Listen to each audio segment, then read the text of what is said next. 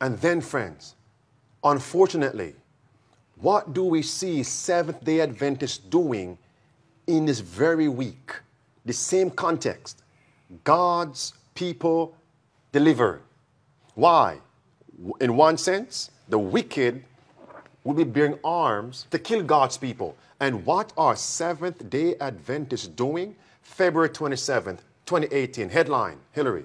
Norwegian Union calls on General Conference to stop investing in weapons manufacturers. This is what the General Conference of Seventh day Adventists are doing. Doing what? With tithe money. Investing in weapons manufacturers. Read that for us. You can see it.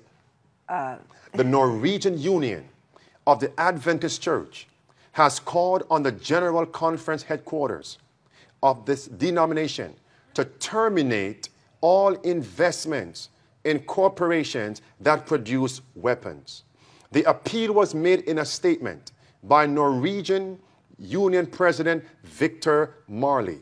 The appeal follows the recent discovery that the General Conference has for years owned shares in a number of weapons manufacturers. In the statement, Marley said that it was completely unacceptable for the Adventist church to own shares in companies connected directly or indirectly to the weapons industry. In response to these concerns, the General Conference's investment department said that, as a general rule, it seeks a careful approach by having a highly diversified investment por- portfolio with the denomination with different strategies. With different strategies based on the best advice the church wow. can get. Who is advising the treasurer and the leaders of the general conference to diversify their investment portfolio?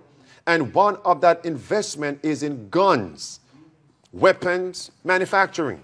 It says the General Conference's fund manager, Timothy Aka, stated that the denomination will not invest in companies that operate tobacco, alcohol, alcohol, gambling, pornography, meat, or caffeinated beverages, as they are not in harmony with the values of the Adventist church.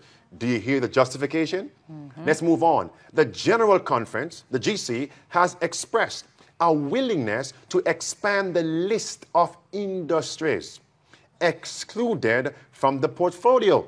Industries to be excluded will likely include the defense in the what industry? Defense industry. So when the heat has now been applied, now they are responding, they will likely include to remove from their portfolio the defense industry as well as entities with environmentally harmful activities. This man said. Climate change agenda. All right. uh, uh, said that European Adventists have traditionally been very clear on their pacifist stand and find investment connected to weapons manufacturing companies very troubling the investment policy that applies to the Adventist denomination's Trans European Division prohibits investment in the weapons industry. In this statement, Marley told who? Norwegian Adventists. That they could be a prophetic voice not only to the outside world, but also to whom?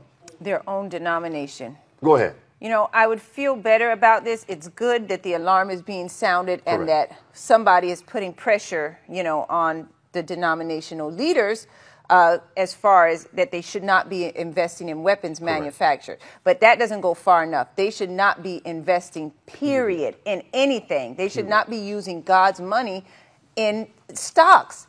You know, where in the Bible, in the, right? Where in the Bible, in the spirit of prophecy, is that found? Correct. In fact, it's prohibited. And not only that, I mean, we're talking about weapons manufacturers.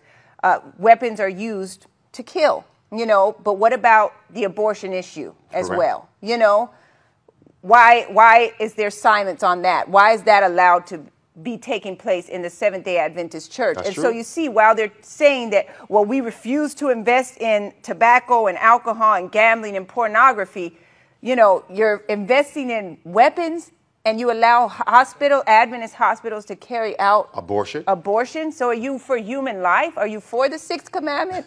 What's going on here? You see, friends, and that's why we're saying pray for our leaders, amen?